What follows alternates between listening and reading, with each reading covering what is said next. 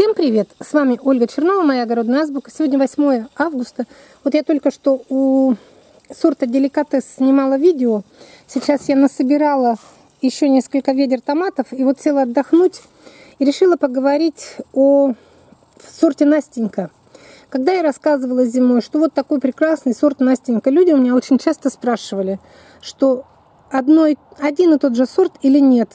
Настюша, Настена, Настенька, потому что вариаций этого имя в сорте томата очень много. Есть Настюша, есть Настена, по-моему, это гибрид, есть Настенька. Я вот скажу про свой сорт, который выращиваю я, который говорю, что он толстоногий, он холодос... холодоустойчивый, он такой, как неприхотливый сибирский сорт. Это именно Настенька. Я вам сейчас вот показываю Настеньку, но учтите, что это уже последние плоды. Я же давно уже начала. И у него немножко мельче, чем должны быть они нормальные. И сейчас скажу про форму. Вот когда про чудо земли начали говорить, кто-то говорил, что она сердцевидная. Тут уже пришел комментарий, что сердцевидная это украинское чудо земли, наша вот плоскоокруглая.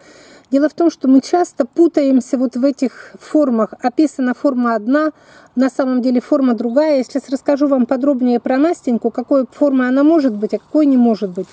Вот она написана, на пачке было, что она почковидная форма.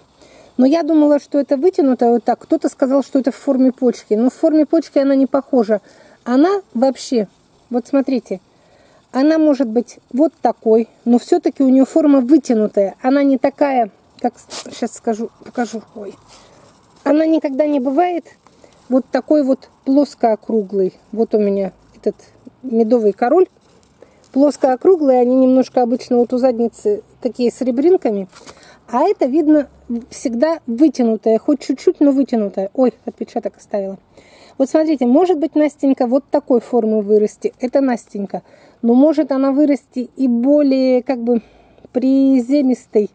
Но вот так, почти даже не вытянутая. Она вроде как круглая, но все равно видно, что она чуть-чуть плод удлиненный у нее. Видите, вот так она длиннее, чем в ширину. Потом Сейчас еще какой. Я вот сейчас все собрала. И бурые, и красные, потому что у нас передали штормовое предупреждение. У нас же все аномальная жара, аномальная жара. Все за 30, за 30. И вчера я сидела вот на эти ведра, гляжу, вчера тоже собирала. И такая мысль ко мне пришла. Наступает момент, когда урожаю уже не рад. И когда думаешь, о боже, вы все спеете, спой, спеете, когда же вы закончитесь. Жара до полуобморока, собирать невозможно. И вот сейчас после жары нам передали штормовое предупреждение, что будет ураган, ветер, все. Ну и как всегда поломает все кусты, поэтому я стараюсь, отбираю сейчас и бурые, и спелые. И вот смотрите, среди бурых видите какие? Вот такой. Вот это вот похоже действительно как на на почку. Кто-то написал, что в виде почки органа человеческого. Потом сейчас еще откопают какой-нибудь. А, ну вот, смотрите. А вот вообще не, по, не, не похоже на вытянутую форму, но это тоже Настенька, это все с одних и тех же кустов.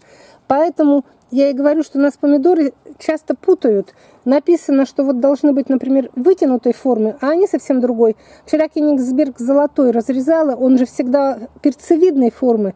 Нынче они у меня все такие разбарабанили, что вот на одном кусте висят на верхних кистях такие пер перцевидные вытянутые формы. Ну, вот такие вот. А на нижних вот такие почти почти боч, бочковидные Кенигсберг золотой. Это хорошо, что я знаю его, я из года в год выращиваю, а некоторые могут засомневаться. Поэтому, если говорить вот о сорте тот, который я о котором я рассказываю, Настенька, и который вы хотите, возможно, у себя в городе, где-то в магазине купить, я знаю именно Настеньку. Не Настену, не Настюшу не выращивала. Я знаю, что это совершенно другие сорта. Какой формы они будут? Может быть, такие же будут, может быть, похожие. Есть вообще сорта двойники.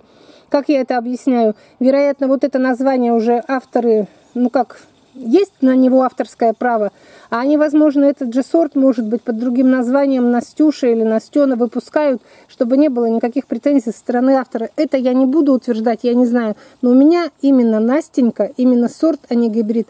И плоды всегда почти вытянутой формы, круглые и плоскоокруглые, их не бывает. Все. Вот это я ответила на вопрос, который приходит очень часто, потому что я об этом сорте говорю часто. Он совмещает такие достоинства, как ну, как ранняя спелость, выносливость, холодостойкость и крупноплодность, он не мелкий. И вот смотрите, я сегодня пробовала эти, ладно, эти же не буду я есть. А вот такие вот, которые довисели на кустиках, которые даже вот немножко треснули, до чего они вкусные, они прям сладкие. Извиняюсь опять за руки, но мыть мне некогда, у меня тут оврал все.